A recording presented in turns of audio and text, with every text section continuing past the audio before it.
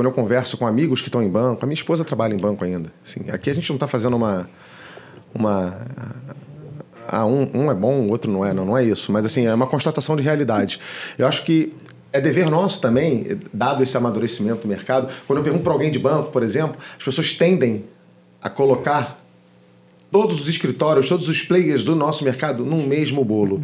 E, como a Tati falou, hoje você tem várias corretoras, você tem dentro do BTG. Várias formas de trabalhar, né, João? 120, 130 escritórios é, na concorrência, outros mais. Mas quando, quando você entende que é, existem dentro desse universo de assessoria de investimentos, de corretora, existem diversas maneiras de trabalhar.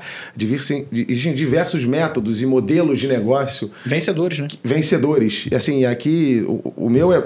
A gente confia muito no nosso modelo, mas ele não é o único. Uhum. Ele não é o único. Então, assim, quando você consegue educar principalmente esse profissional que está em banco. E acho que o próprio mercado ele vem se mostrando assim, ele, ele vem dando. É, é, é, fazendo inserções, comunicando um pouco melhor.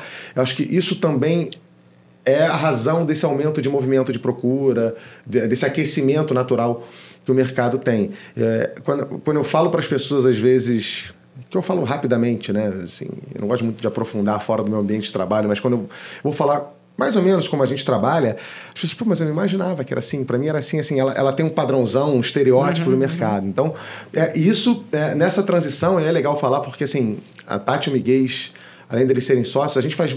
A gente capitaneia, eles capitaniam muitos, muitos projetos aqui. A Tati ela capitaneia um projeto de, de, de tutoria, que é um. Que é um, é, é um é uma fase do nosso onboarding aqui. Porque antigamente esse cara ele saía do mercado, ele saía do banco, ele entrava numa, numa corretora e aí, vai lá, meu filho, toca aí. Como é que esvazia o copo, né? É, como é que esvazia o copo. o copo. Então, o, o mercado foi percebendo que para você reter, para você preparar, não basta você trazer o cara e falar, olha, você tem que captar isso aqui, vem. Você não pode ter uma, uma métrica binária em cima desse profissional. Uhum. Você tem que preparar, você tem que multiplicar a tua cultura, a, a, cultura do teu escritório, do teu modelo de negócio. Porque ele enraizando isso, que não é da noite para o dia, né, Tati? É, demora é, um pouquinho. Facilita. O que, que você percebe muito é, nesse processo de treinamento? As dificuldades continuam as mesmas? É, a importância de, de estar lado a lado ali? Sim, a gente tem, tem diversos perfis entrando no, no escritório, né? E, e, cada perfil tem uma particularidade, né? É, eu diria que é, é, esse não é mais um projeto, já é algo que já, já acontece, tem mais ou menos uns dois anos, mas é, é, o foco é disseminar a nossa cultura. Por quê? A gente, a gente acredita que é um modelo que dá certo, a gente vê dando certo. Então, o resultado, mais uma vez, ele é consequência do, do nosso modelo de negócio. E uh, é difícil, não acontece da noite para o dia. E a gente precisa, de fato, esvaziar o copo. Seja qualquer perfil que, que, que chegue aqui a esvaziar o copo. Uns demoram mais para esvaziar esse copo, não, outros não. demoram menos. Não. Cada um tem sua curva ali de, de, de, de aprendizado, né? Outros Mas... não, vão, não vão se tornar aderentes ao modelo, né? E outros não, não, não conseguem não esvaziar o, o, copo, né? Então, é, é mas é, é uma forma da gente ficar mais próximo das, das pessoas, né?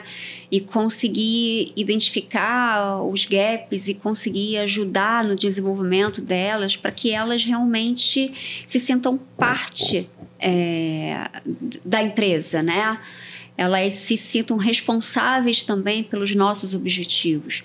E a gente acredita muito que essa proximidade ela tem muita relevância para esse nesse sentido. Então, a gente segue é, e a gente vem amadurecendo muito com o tempo, né? Na época que eu entrei não, não tinha e assim eu, as pessoas se adaptam, né? Assim, eu em algum momento eu, eu, eu me adaptei, não foi da noite pro dia, né? Eu fui ali, sentava com um, sentava com outro, não sentava com ninguém, olhava pro teto, li um negócio, mas assim em algum momento ali, que eu não sei qual, eu comecei a absorver as coisas e conseguir é, é, é, aplicar de fato ali o, o modelo, né?